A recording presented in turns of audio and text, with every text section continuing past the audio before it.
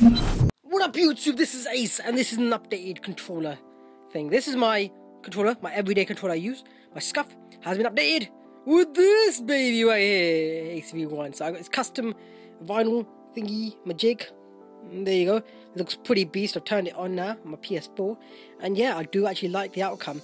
And and I've changed it up and I've got these little thumb grips here. So I haven't, I did actually put a rubberized casing on this, but I've left it off and I've just put these, the uh, concave like design is a lot more stable with a lot of games as well. And so far, so far, I've been pretty good. Uh, the battery's also been updated. I managed to pick up a new battery, so I changed, I opened up all these, and it's now got an even higher MAH battery, which I managed to pick up. And the controller customization, this, the sticker, and the battery for only 10 pounds. That's like 15 bucks for all that and you can't argue with the result. This has been an update video a update you can say.